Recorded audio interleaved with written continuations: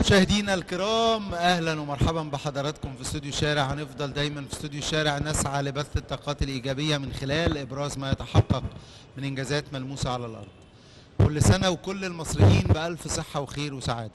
النهارده 7 يناير عيد للمصريين عيد الميلاد المجيد كل سنه وحضراتكم بالف صحه وخير وسعاده الحقيقه في مصر بس ما بنعرفش هو ده عيد الميلاد ولا عيد الفطر هو ده عيد الاضحى ولا عيد القيامة هو ليه ليه بقول انه في مصر بس لان دي حقيقة احنا طول عمرنا كده طول عمرنا ما بنعرفش هو ده عيد ايه احنا عارفين ان احنا عندنا عيد لكن ده عيد فطر ولا عيد ميلاد ولا عيد قيامة ولا عيد اضحى لانه احنا نسيج واحد لان احنا طول عمرنا ما بنميزش طول عمرنا ما بنعرفش طول عمرنا موجودين جنب بعض عشان كده كل سنة وحضراتكم بألف صحة وخير وسعادة وعشان كده عنوان حلقة النهاردة 7 يناير عيد المصريين خلينا أرحب بضيوفي الكرام برحب بحضرتك القس بطرس عاطف فؤاد عضو بيت العائلة المصرية وكاهن كنيسة الأنبا بشوي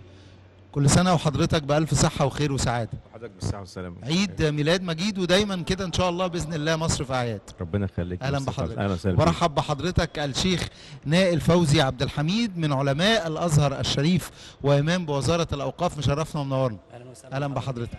عايز نبتدي بحضرتك آه، قصة بطرس و ليه ليه دايما آه،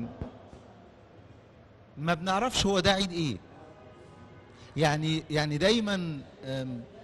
بيجي العيد علينا بيبقى آه، عيد اضحى فبنلاقي اللحمه هنا وهنا عيد فطر بنلاقي الكحك والبتيفور هنا وهنا ليه دايما مصر كده آه، اول حاجه انا سعيد مبسوط موجود مع حضراتكم النهارده مع حضرتك ومع الشيخ نايل موجود معاكم النهارده و... ودي زي حضرتك ما قلت في البدايه دي طبيعه المصريين احنا بنتميز كمصريين في العالم كله ودي حاجه حاجه مميزه احنا مص... احنا يعني منفردين بالقصه ديت يعني ويمكن ديت الحاجه اللي عملت مسار استغراب في العالم كله لغايه وقتنا الحاضر يعني حتى لو كان في بعض الفترات بي بي بيتم فيها بعض المشاكل او بعض الافكار المش مظبوطه لكن لا هو ده ده ده مصريتنا كده يعني ويمكن يستحضرني دلوقتي من كلام حضرتك آه، في مذكرات اللورد كرومر في في البريطاني لما كان موجود في مصر فمن ضمن الحاجات اللي حاولوا يعملوها ان هم يعني يعملوا فتنه بين المصريين وبعضهم يعني فكان الراجل قال ايه كده في كلامه قال ان هو قال انا ما كنتش اعرف المصريين اعرف اميز ما بين المسيحي او المسلم غير هو ماشي ففي الاخر خالص الاقي دخل المسجد يبقى ده مسلم دخل الكنيسه ده مسيحي غير كده ما نعرفش يعني من زمن الزمن فده مش مش جديد علينا يعني ده الفكره دي مش جديده واحنا كلنا يمكن احنا حتى واطفال وصغيرين اتربينا على الفكره ديت ان احنا نيجي في العيد كله بيلعب وكله بيخرج وبيتفسح صحيح مفيش فرق في الفكره ديت يعني الا اذا طبعا فترات كده بسيطه يعني وبتعدي طبعا كله بيعدي يعني فده ده طبيعه المصريين من كده من زمان يعني شيخ نائل آه بننبسط قوي لما بن آه بنلاقي الروح دي موجوده من زمن الزمن زي ما قال القس بطرس فؤاد انه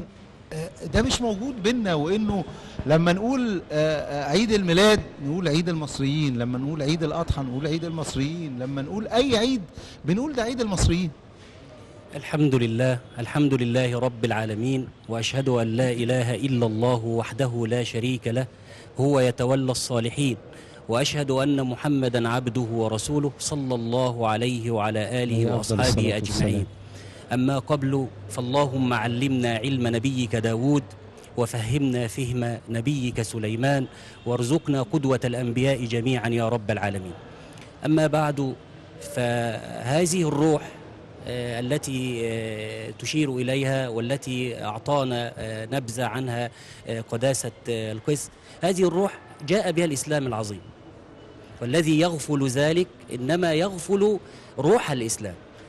آه، القرآن الكريم في معرض الحديث عن آه، أهل الكتاب سماهم أهل كتاب حتى صحيح. لم يسميهم الآخرين آه، لم يسميهم الكافرين كما يقول بعض الناس يقول ولا تجادلوا أهل الكتاب إلا بالتي هي أحسن لا ينهاكم الله عن الذين لم يقاتلوكم في الدين ولم يخرجوكم من دياركم أن تبروهم وتقسطوا إليهم إن الله يحب المقسطين النبي صلى الله عليه وآله وسلم آه، يقول ألا من آذى ذميا فأنا خصيمه يوم القيامة حتى النبي صلى الله عليه وسلم لم يسمهم الآخرين وإنما قال ذميا أعطاهم الذمة فهم أهل الذمة أهل والرحم صحيح أهل الذمة والرحم هم أخوال النبي صلى الله عليه وسلم أخوال آه، آه، إبراهيم ابن النبي صلى الله عليه وسلم النبي تزوج منهم فصاروا أخوال لإبراهيم ابن النبي صلى الله عليه وسلم صحيح. المهم هذه الروح آه، الإسلام العظيم أرساها ثم جاء الصحب الكرام من بعد النبي صلى الله عليه وآله وسلم وساروا على هذا الدرب فهذا آه، ابن عمر رضي الله عنه آه، يذبح شاة ويقول للرجل الذي يسلخها يقول ابدأ بجارنا الكتابي قال ابدأ بجارنا الكتابي فقال له بعض الناس بجارنا الكاتبي نبدأ به كالكتابي قال نعم فإني سمعت النبي صلى الله وسلم وبارك عليه يقول أوصيكم بالجار خيرا ولم يفرق بين كونه كتابي أو كونه مسلم فهذه روح هنا بقى آه قصة بطرس ودايما زي ما قال الشيخ نائل كده احنا كجيران ما, ما على طول مع بعض وعلى طول زي ما قلت لحضرتك كده في الاعياد بنتبادل الاكل وفي الاعياد بنتبادل الزيارات لدرجه انه فعلا آه، آه، بيجي علينا وقت ما بنبقاش عارفين هو ده عيد مين آه، الروح دي اللي موجوده ويمكن في احياء كامله نلاقي انه في شقه مسلم والشقه اللي في وشه مسيحي وانه آه، آه، عايشين مع بعض آه، على طول موجودين مع بعض الروح دي زي ما حضرتك قلت موجودة من زمن الزمن وان شاء الله تستمر الى يوم الدين ازاي نقدر ندعم ده وازاي نقدر نخلي الروح دي موجوده بيننا على طول هو برضه زي ما قلت لحضرتك هو استكمالا يعني انت ذكرت دلوقتي في في العصور التاريخيه زي ما قال برضه فضيله الشيخ نايل ان هو يعني كان بيجي كتير من من المناسبات اللي حتى الحكام نفسهم كانوا بيشتركوا مع مع مع الشعب في الاعياد وطبعا بتكلم على على كمثلا احنا كمسيحيين كان في ساعتها في, في زمان كان في العيد الغطاس وعيد النيروز كانوا اعتبر اكبر احتفال بالعيد كان الحكام الحكام بنفسهم ينزلوا مع الشعب ومع الناس يحتفلوا بالاعياد ديت يعني ويمكن تتذكر الشاعر المرحوم عبد الفتاح الابنودي لما كان عبد الرحمن الابنودي لما كان بيتكلم على ازاي ان هو كان في المحافظه عنده وقعد يحكي احتفال البلد كلها صحيح بعيد الغطاس ان هو كانوا يجروا كانوا يسموه عيد البلاطيسه وحاجات كده كانت حاجات جميله كل دي بتاثر بتوصل الروح يعني يمكن ازاي ان احنا نعيد الحاجات دي تاني او نعيشها مره اخرى الحقيقه يمكن الموضوع محتاج ثلاث اطراف مهمين جدا يعني الطرف الاولاني هو الاعلام يعني الاعلام عليه دور كبير جدا جدا جدا في الموضوع ان هو يظهر هذا الروح دي موجوده جوانا يمكن صحيح بعض الاحداث بعض الظروف مرت بتخلي شويه ها شويه تراب جم على الذهب الموجود جوانا فمحتاجين نشيل التراب دوت اول فئه تقدر تشيل الموضوع ده لان له تاثير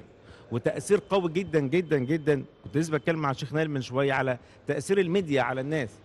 التاثير القوي اه يعني. دلوقتي الميديا بقى ليها دور آه كبير فالاعلام ليه دور على على انه يوصل هذه الرساله الجميله زي ما حضرتك ما بتعمل كده دلوقتي يعني ازاي ان احنا نوصل الاجيال اللي طالعه جديده يا اخوانا اذا كان في بعض الاوقات لا ده مش دي الطبيعه بتاعتنا كمصريين لا يعني يمكن انا انا اتذكر او ما كنت ازور ناس في البيوت آه، الاقي الشقق زي ما حضرتك قلت شقق مفتوحه لبعضها صحيح اقول لهم يا اخوانا مين فين في الشقه الثانيه انا ما كنتش اعرف آه. مين المسيحي اللي ساكن هنا آه. اليوم داخلين في بعض آه. ممكن, ممكن شبرا اكبر دليل على ده يعني وممكن اقعد في الشقه او فوق وفجاه في الاخر ان مش شقه الناس اللي انا بزورهم أيوة. يعني الناس التانيين أيوة. وهم قاعدين عند بعض صحيح المهمه الثانيه مهمه رجال الدين سواء رجال الدين طبعا نمره اثنين في المساجد اه ورجال الدين في الكنائس ان احنا نوصل للناس باستمرار اخوانا او بمعنى صح زي ما فضيله الشيخ برضو ان احنا نوصل لهم صحيح الدين الاسلام بيتكلم على سماحه وبيتكلم على كل حاجات اللي وانا يمكن قلت حاجات تانية اخرى موجوده في الاسلام وقرائن موجوده في التاريخ ومع الرسول الاسلام او مع الخلفاء الراشدين كلهم كله كان يعني ازاي العلاقات هي دي اللي عايزين نوضحها للناس نفهمها لهم رجال الدين الاسلامي رجال الدين المسيحي احنا المسيح لو المجد جاي في الميلاد دوت رساله سلام يعني هو جاي اساسا بالسلام وجاي ينشر السلام على الارض هنا يا شيخ نائل لازم ما عديش الروح الحلوه اللي شفتها آه، حضرتك بتتصور مع القس بطرس طول الوقت وانه الروح بينكم جميله القس بطرس بيتكلم على حضرتك دايما وبيستشهد بالدين الاسلامي يعني الروح والسماحه الجميله دي لازم تفضل موجوده ولازم نفضل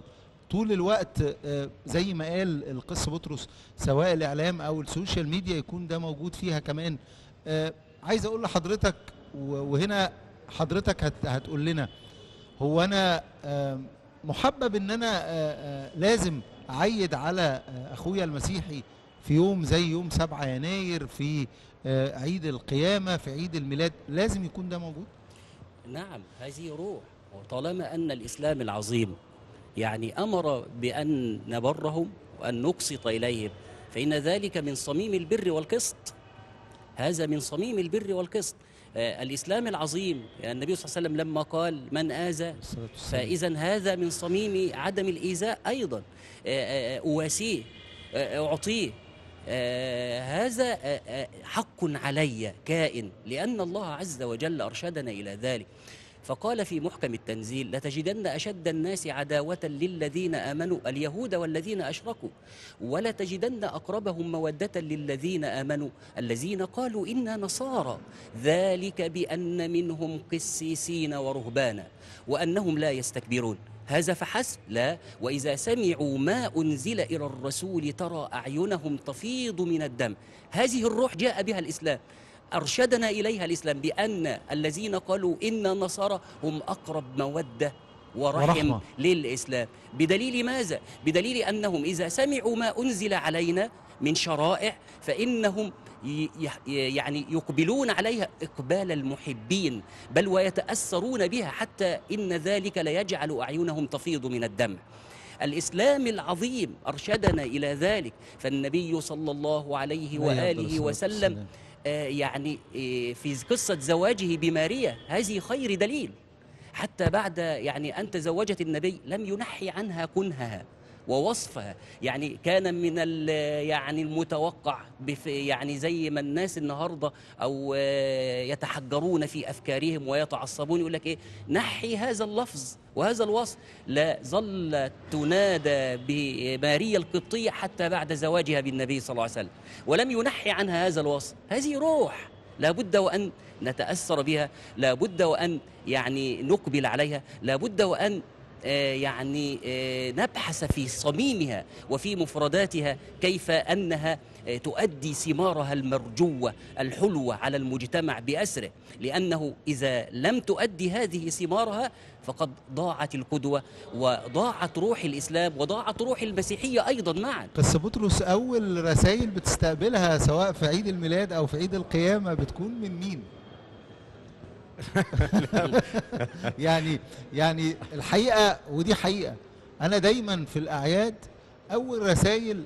حتى في المولد النبوي اول رسائل بيبقى من اخواتي المسيحيين اول رسائل بتجيلي آه، آه، مع حضرتك ده برضه هو صدقني يعني انا مش مش بالظبط لكن كتير آه. كل اخواتي المسلمين اللي اعرفهم ومعظمهم اذا كانوا علماء افاضل لا كله بيبعت وبيهني في نايل بيبعت لحضرتك لسه بتعرف عليه النهارده بس ان شاء الله هيكون على طول يعني. ويمكن انا برضو عايز الفت نظر مش بس حضرتك بتتكلم على آه عيد الميلاد وعيد القيامه انا بفاجئ ان في احنا عندنا مناسبات اخرى تانية أيوة. يعني في اعياد تانية تانية آه. موجوده في النص كده او حاجه بلاقي اصدقاء كتار اليوم ما يعرفش بيبقى يعرفوا المناسبات دي وبيبعتوا لي مثلا أيوة. في بيت الصوم احنا عندنا صوم كتير الاقي أيوة. فيه بيبعت لي في كل صوم يبعت لي رساله ببدايه الصوم او حاجه اخواننا فببقى مبسوط جدا بال... بال... بالحكايه ديت فعلا ان فكره من ضمن الحاجات ان انت ازاي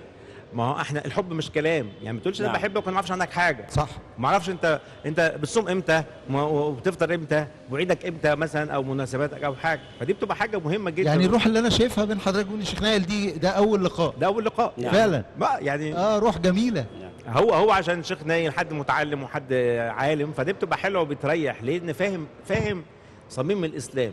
فاهم صحيح. الاسلام صح فاهم الدنيا وانا يمكن دايما بقولها باستمرار وفي اي لقاءات بنتقابل فيها مثلا حتى في التسجيلات او كده آه، آه، آه، مصر هتفضل يعني طول ما هي انها الوسطيه الوسطيه في المسيحيه والوسطيه في الاسلام صحيح مصر يعني المسيحيه في مصر يعتبر هي الوسطيه في المسيحيه في العالم كله ماشيين في في خط مستقيم من ساعه ما مرقص جه مصر وبشر والى اخره ماشيين في الخط الاسلام معانا الازهر في في مصر فال فده مدينا مدينا مدينا عاملين كده زي بالظبط زي ايه زي آه، الشط بتاع النهر كده انه ما يخليش حد يتطرف يمين صحيح يتطرف في الشمال بس اهم حاجه تمشي في النص ما احنا نفس الفكره فعشان كده لا يعني مصرنا مختلفه جميل, جميل بالظبط شيخ نائل يعني آه، الحقيقه القس بطرس قال شيء مهم جدا وهو انه الكنيسه والازهر دايما طول الوقت ماشيين بالتوازي مع بعض نعم. ودايما الحقيقه بنشوف التهاني ودايما بنشوف الاعياد ودي رساله مهمه جدا للكل لو حضرتك هتبعث برساله الى كل المصريين وهنا زي ما احنا بنقول عنوان حلقتنا 7 يناير عيد للمصريين ممكن نقول ايه في يوم زي 7 يناير نقول الاسلام العظيم دلنا عليه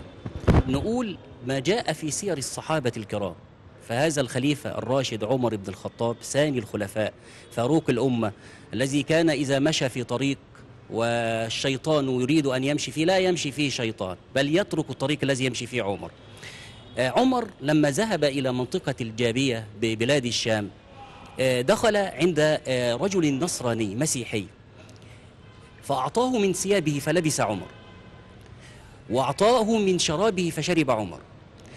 وأعطاه ماء فتوضأ فتوضأ عمر فقال له صل في الكنيسة فلما هم تردد عمر رضي الله عنه فظن الرجل أن عمر لا يريد أن يصلي في الكنيسة لأمر ما في النفس أو غير ذلك سيدنا عمر مش حابب نعم يصلي في الكنيسة نعم لا, لا ليست هذه القصة آه هو يعني انظر إلى الفهم زي. العميق فقال أخشى أن أصلي فيها فينازعكم عليها الناس بعدي فيحولونها مسجدا مم. انظر إلى الفهم مم. إلى الروح حتى إن سيدنا عمرو بن العاص الكنائس موجودة دخل ففتح مصر هل هدم الكنائس؟ الكنائس والمعابد موجودة حتى معابد الفراعنة على حالها منذ ألاف السنين يعني في الفتنة الماضية سمعنا في أيام الفتنة التي كنا فيها لا أعادها الله مع الناس الذين ذهبوا إلى الأهرامات وأبي الهول لهدمها وغير ذلك كما سمعنا وإلى المتحف المصري وتكسير الـ الـ الـ الـ هذه الآثار العظيمة سيدنا عمرو بن العاص لم يفعل هذا بل إنه بعث إلى أمير المؤمنين عمر يقول له آه، عن شأن هذه المعابد وهذه الأثار فقال له عمر رضي الله عنه أيعبدها الناس من دون الله قال لا قال إذا اتركها فإذا هذه الروح نبعث إليهم هذه الروح لا أقل من أن نبعث إليهم هذه الروح فعمر يلبس من ثياب المسيحي ويأكل من طعام المسيحي ويشرب من شراب المسيحي بل إن القرآن العظيم الذي أرشد إلى هذا اليوم أحل لكم الطيبات خلي بالك وبدأ بماذا وطعام الذين أوتوا الكتاب حل لكم صحيح. والثاني وطعامكم حل لهم يعني لم يقل إيه في الأول طعامكم حل لهم في الأول إنما قال وطعام الذين أوتوا الكتاب حل لكم وطعامكم حل لهم بس بطرس قول لنا كده يوم 7 يناير بيمشي ازاي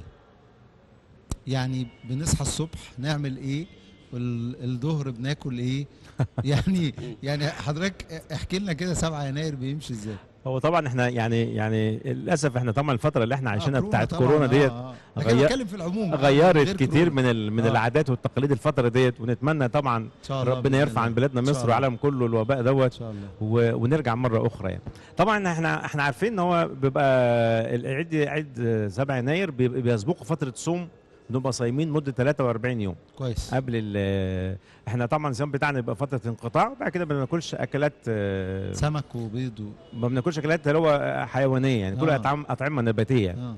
آه. المهم فبتبقى اليوم دوت بتبقى بقى فرصه بقى للناس بقى تعمل ايه تبدا تستعيد آه الذاكره اللحمه والفراخ, اللحمة والفراخ بقى وبتاع وتبدا انها تسعيد برضو الاكل برضو الالبان والحاجات دي كلها كده يعني. ده الصبح برضو زينا كده في العيد في بناكل لا مش الصبح انا بتكلم في اليوم يعني انا بتكلم على الغدا وبتاع آه، نبدا فكره اللي هو التهاني بقى مع بعض يعني كويس ان احنا كل الاسر مع بعض يعني بن بنتجمع في الكنايس بعض خصوصا الاطفال الصغيرين بيروحوا الكنيسه الصبحيه كده وان احنا بنعيد عليهم طبعا دوت ده غير اوقات بتاعه آه كورونا, كورونا يعني لا كورونا بنتكلم على آه، بره آه كورونا, كورونا. بنتكلم على بره بن بنعيد على الولاد الصغيرين وان آه. احنا نبث البهجه في نفوس الولاد ان هم نعيد عليهم يعني وتبدا بعد كده المراسم بتاعت كل المصريين بقى اللي هي إيه زي ما قلنا زيارات ناس بتتبادل الزياره نهني بعض بالعيد آه، ويكون الموضوع الفرحه يعني فرحه العيد يعني لكن هو الطقوس بقى والمراسم بتبقى موجوده ليله العيد اللي هو الليله بالليل ده بقى بصلاه ستة, بقى. ستة بالليل اه ده بيبقى صلاه العيد والقداس العيد وده بتبقى مراسم الصلاه التقصيه في العيد نفسه يعني عيد الميلاد وعيد القيامه زي عيد الفطر وعيد تمام. آه تمام. آه الحقيقه الاضحى آه آه انهي حضرتك بتشوف انه يبقى فيه تواصل اكتر انهي بيبقى فيه صلوات اكتر ولا الاثنين زي بعض لا هو عيد القيامه بيكون اكتر شويه عيد القيامه عيد القيامه اكتر زي عيد الاضحى زي عيد الاضحى اطول وقته اكتر من عيد الفطر أيوه. بالظبط يعني هتلاقي في حاجات كتيره يعني شبه بعض شبه بعض يعني صحيح تمام آه عايز اسال حضرتك عن فكره العيد الصبح احنا دايما آه في عيد الاضحى لازم لحمه تمام آه، في عيد الميلاد آه، ممكن لحمه ولا لا لا ممكن لا لا, لا لا مش الصبح لا ما لا ما الصبح لا احنا بنتغدى لحمه الغدا والعشاء اه لكن آه. الصبح كبده لا ملوش ملوش آه، مقاييس بس مقاييس. هو الصبح بيبقى دايما بيبقى منتجات البان بسيطه عشان نقدر الدنيا نكمل باقي اليوم عشان ما فيش لبن بقى اه, آه بالظبط ما فيش البان فبيبقى اه الصبحيه بنرجع لمره اخرى يعني لكن مش طقس معين احنا يعني. طيبين دايما ربنا يخليك كتر خير شيخ نائل عايز اسال حضرتك عن فكره التهاني وان احنا دايما نهني بعض سواء آه، في عيد اضحى سواء في عيد فطر سواء في عيد قيامه سواء في عيد ميلاد هي بتفرق سواء بين المسلمين مع بعض او المسيحيين مع بعض بتفرق بشكل كبير انه انا اتلقى رساله من اخويا المسيحي او اتلقى رساله من اخويا المسلم وقد ايه دي دينيا بتفرق في مشاعرنا نعم آه، النبي صلى الله عليه وسلم ارسى هذا ايضا فقال ما كان الرفق في شيء الا زانه وما نزع من شيء إلا شأن رفق بجميع البشر رفق بجميع الكائنات ما كان الرفق في شيء إلا زاد وما نزع الرفق من شيء إلا شان ولذلك مناسبة أن رجلا من أهل الكتاب مر على النبي صلى الله عليه وسلم فقال السام عليك يا محمد هذا يمثل الفكر الذي نعاني منه الآن ولكنه لا يعطي صورة مطلقة عن أهل الكتاب وله فكر معين فمر عليه فقال السلام عليك يا محمد تحريف للسلام عليه والسام هو الموت يعني يدعو على النبي بالموت فردت السيدة عائشة بل السام عليكم أنتم كذا كذا كذا فقال النبي صلى الله عليه وسلم مهلا يا عائشة مهلا إن الله يحب الرفق فما كان الرفق في شيء إلا زان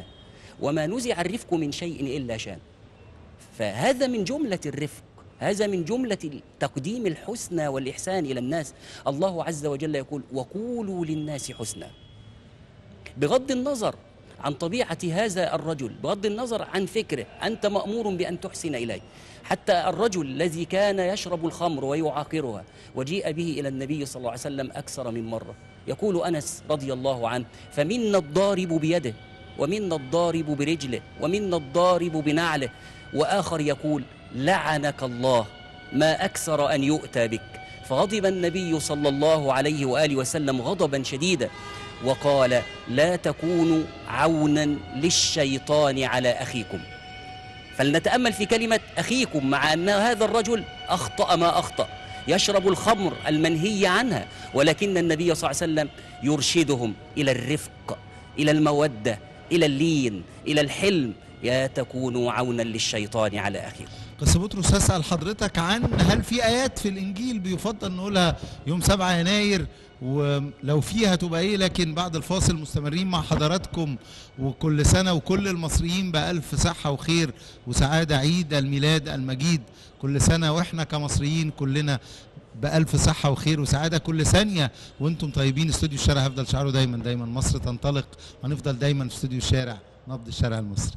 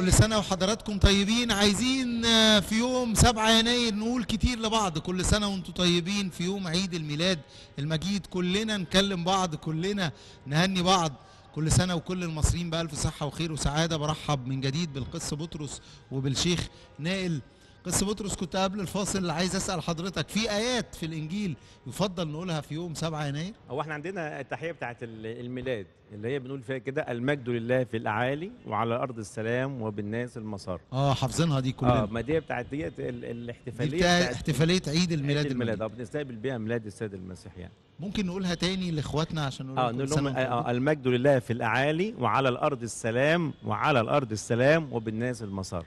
على الارض السلام بالظبط وهو دي دعوه المسيح لو المجد جاي بالسلام لكل الارض وكل البشريه الفتره اللي فاتت قس بطرس الحقيقه في روح اكثر من رائعه ما بين آه، المصريين والحقيقه آه، لاحظت انه لا بقى فيه اهتمام انه يبقى فيه رسائل مخصوص ما بين آه، المسلمين والمسيحيين والمسيحيين والمسلمين في الاعياد المختلفه شايف حضرتك الروح دي بتساعد كتير جدا في استمرار هذه الروح اللي الحقيقه مصر عمرها ما شهدت غير هذه الروح الجميله ومحدش قدر في كل الاوقات انه يخش لمصر من من هذه الناحيه يمكن انا مش عايز اخش في موضوع في الناحيه سياسه شويه يعني آه. لكن لا احنا ما بنتكلمش في سياسه بس يعني قصدي انا بتكلم على ما هي الروح ديت دي جزء من تكوين الشعب المصري صحيح فانا برضه يمكن قلتها قبل كده مصر بتقوم على ثلاث ثلاث زوايا كده اساسيه هم اللي مخلين بلدنا لغايه دلوقتي ما زالت صامده يعني احنا بنشوف دول يعني ربنا شاء انها يعني خلاص ما بقاش ليها دور زي زمان العراق وليبيا ومش عارف ايه وحاجات زي كده وسوريا الدنيا معاهم صعبه جدا لكن احنا بالنسبه لنا كبلدنا مصر ايه اللي مخليها لغايه دلوقتي ايه اللي مخليها لغايه دلوقتي صامده بالصوره ديت معانا ثلاث مؤسسات اقوياء الجيش والمسجد وطبعا الازهر يعني الازهر والكنيسه, والكنيسة.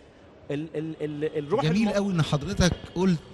الازهر قبل الكنيسه هي دي الروح لو حضراتكم عايزين وبنتكلم عن الروح مفيش اكتر من الشكل العملي القس بطرس وهو بيتحدث عن مؤسسات آه بتخلي دايما الروح دي موجوده فقال الجيش المصري العظيم وقال الازهر والكنيسه لو الشيخ نائل بيتكلم هيقول الكنيسه وبعدين الازهر اتفضل يا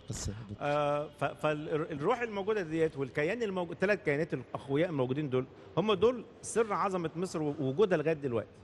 ويمكن الفتره اللي فاتت بعد ما يعني يمكن الشيخ نايل قال من شويه ان احنا تعرضنا لفتره مظلمه شويتين وفيها شيء من الصعوبات لكن قدرنا بالروح دي نتغلب عليها عشان كده بقول مش عايز اخش في السياسه لكن احنا بوجود الازهر طبعا والناس الشيوخ العظام العلماء والافاضل وطبعا احنا ما ننساش المشهد الرائع آه، آه، سياده الرئيس السيسي مثلا مع فضيله الامام الاكبر فضيله الشيخ الازهر الامام الطيب وقداسه بابا تدرس في في في انقاذ مصر من الـ من الـ نعم. من الـ صحيح اه يعني الطريق المظلم اللي كنا ماشيين صحيح فهم اللي قاموا بالدنيا ديت يعني ودي الروح اللي موجوده اللي ما زلنا بيها اللي بدات بقى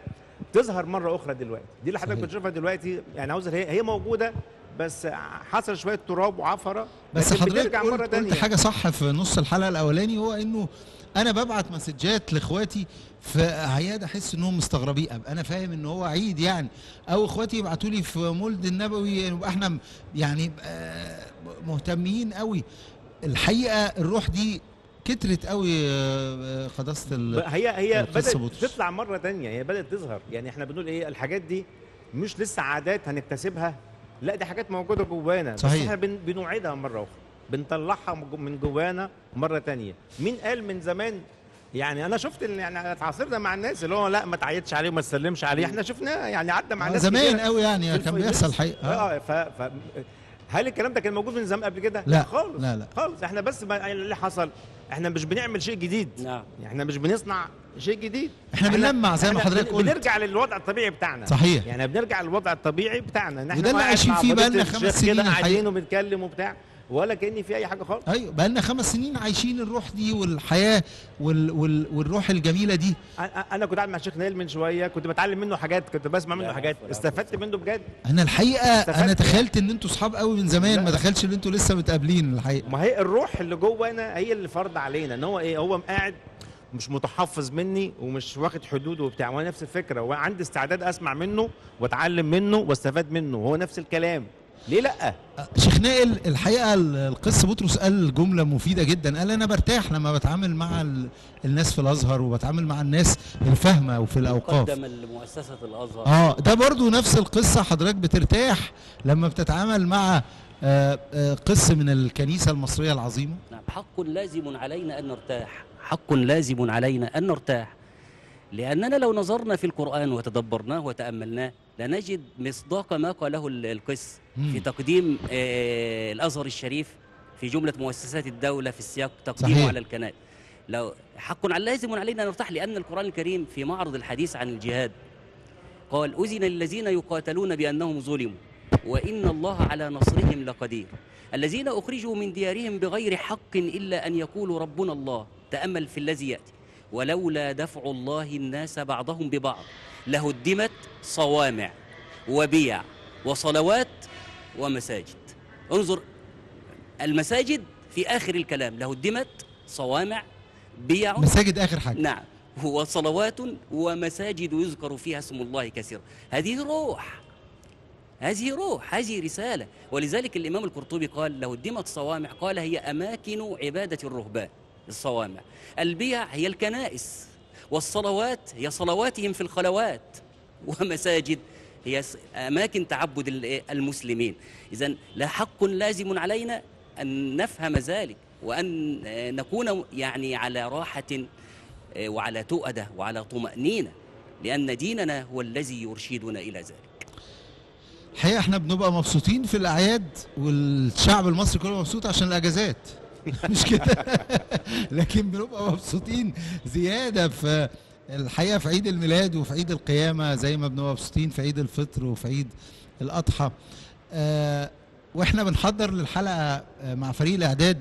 كنا مبسوطين جدا انه آه، بنبقى موجودين مع حضراتكم في 7 يناير في عيد الميلاد المجيد وبنبقى مبسوطين اكتر انه بنقول لكم كل سنه وحضراتكم طيبين وهي دي الروح اللي موجوده الحقيقه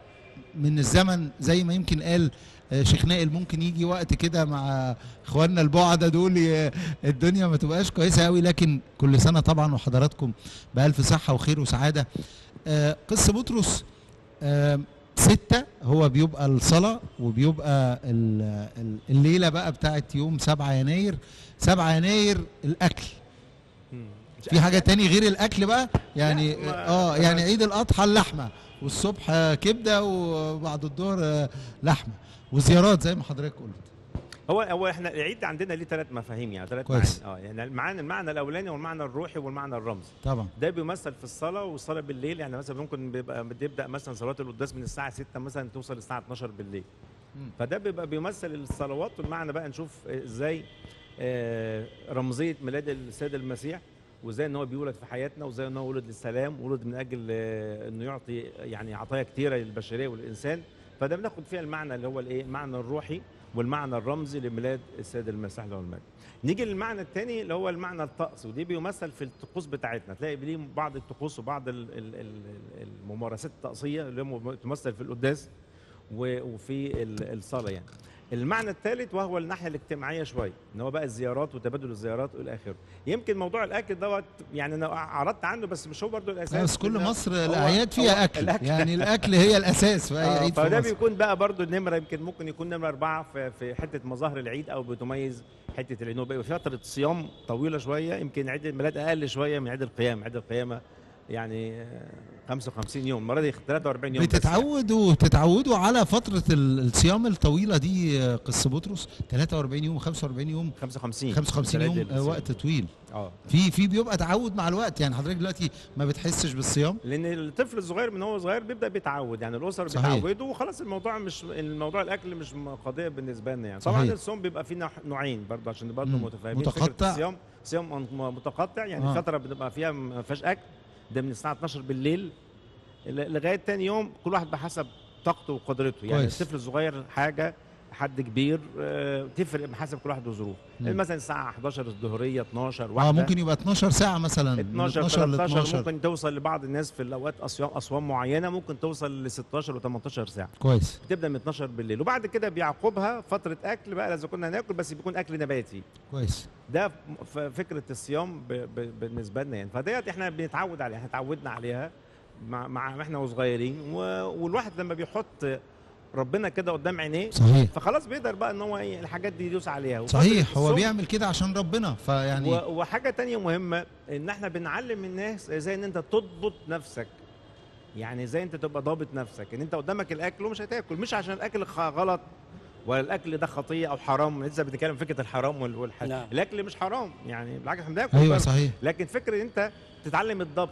الانسان اللي بيبقى زي كده يعرف يضبط نفسه بقى في حاجات تانية كتير صح. في السلوك وفي في الاخلاق و... واخلاق وحاجات زي كده فتبقى فرصه للانسان يضبط نفسه يعني شيخ نائل آه، بتبعت لمين في 7 يناير آه، رسائل كل سنه وهو طيب والله آه، بدايه بالجار الجار يعني نبدا بالجار اولا لان الفقهاء ادركوا هذه الروح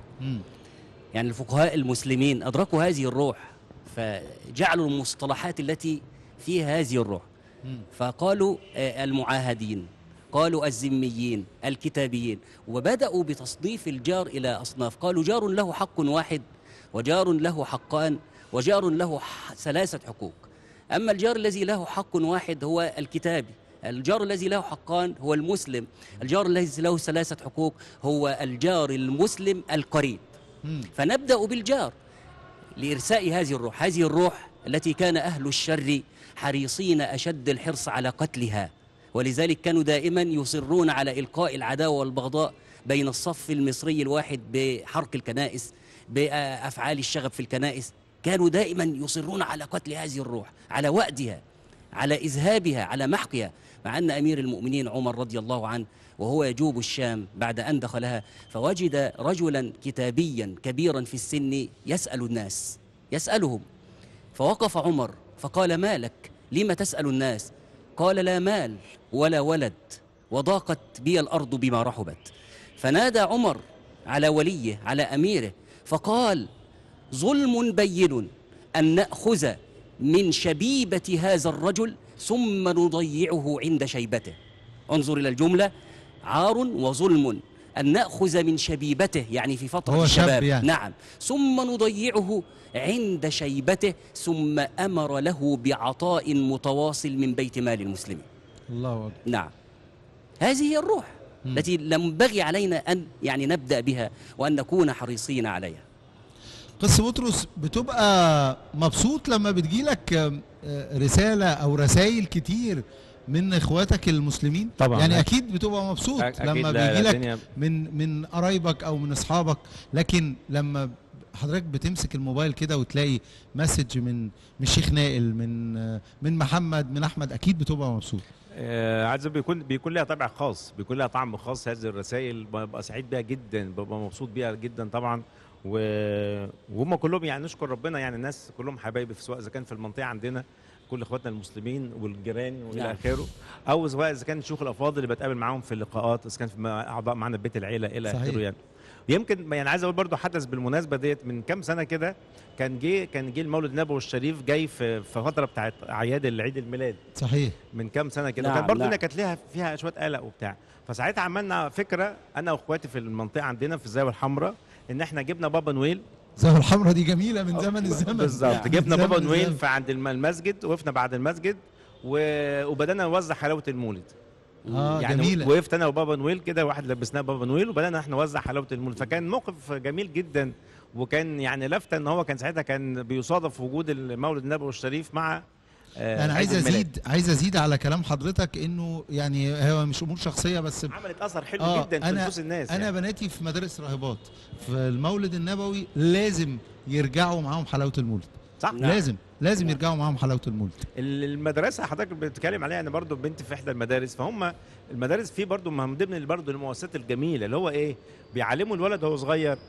ان انت يعني بتجن البنت تقول آه، بابا انا عايزه مثلا ايه عايزين عندنا مناسبه فعايزين هدايا للولاد أيوة، الولاد ايوه, أيوة لاخواتنا اخواتها اللي في الفصل أيوة. مثلا أيوة. فبابا مبسوط صحيح ان هم بي بي بيزرعوا في نفوس الولاد انك انت ازاي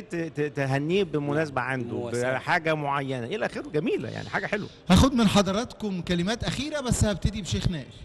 كلمات اخيره و آه، آه، لازم نعايد نعايد بقى على اخواتنا نعم يعني افضل ما يقال لا بد وأن نراعي جانب الإنسانية قبل التعصب والتحجر جانب الإنسانية مقدم على كل شيء النبي صلى الله عليه وسلم قام لجنازة الكتابي فلما سأله الناس قال أليست بنفس لابد وأن نراعي جانب الإنسانية في الآخر بغض النظر عن أي تعصب لهوى أو أي تعصب لفكر هذا ما يمكن أن يصدق في معاملاتنا وأن تصطبغ به معاملتنا أن نراعي جانب الإنسانية في البشر وأن نلزم هذا القانون قصة بطرس آه، طبعا انا بشكر حضرتك وبشكر الشيخ نايل على الكلمات وعلى التعييد وعلى ان احنا وجودنا النهارده في مثل هذا اليوم لسان حضرتك آه، خالص خالص وده طبعا زي ما قلنا ده بيعبر عن الروح الموجوده في بلادنا مصر مش زي ما قلنا مش حاجه مش جديده لا دي حاجه موجوده في حياتنا كلنا بجد بشكركم جدا بشكر كل الناس اللي عيدوا علينا وعيدوا عليا في في اليوم دوت ويعني اخر حاجه بقولها ان احنا يعني في اليوم دوت او الاعياد ديت بنسال الله جميعا كده ان هو يرفع عن بلدنا وعن العالم اه هذا الوباء وباء ان شاء الله ونرجع مره تانية احتفالاتنا بمناسباتنا كل حاجه ترجع مره اخرى نعيش حياتنا طبيعيا ونبعد عن آه، عن الكلمه الصعبه اللي بتقال في التباعد حياه لا نرجع مره اخرى في التقارب حياه نعم. مش في التباعد حياه كل سنه وحضرتك طيب القس طيب. بطرس فؤاد عضو بيت العائله المصريه كاهن كنيسه الانبا بشوي كل سنه وحضرتك بالف صحه وخير وسعاده وبشكر حضرتك الشيخ نائل فوزي عبد الحميد من علماء آه، الازهر الشريف وامام وخطيب وزاره الاوقاف وكل سنه وحضرتك جزاكم الله كل خير يا فندم جزاكم الله كل خير مشاهدينا الكرام كل ثانيه وحضراتكم بالف صحه وخير وسعاده 7 يناير عيد المصريين وهنفضل دايما زي ما قلنا في المقدمه هنفضل دايما في مصر ما بنعرفش هو ده عيد الفطر ولا عيد الاضحى ولا عيد الميلاد ولا عيد القيامه ده لانه مصر محفوظه ان شاء الله باذن الله تفضل محفوظه الى ابد الابدين كل ثانيه وحضراتكم بالف صحه وخير وسعاده استوديو الشارع هيفضل شعاره دايما مصر تنطلق وهنفضل دايما في استوديو الشارع نبض الشارع المصري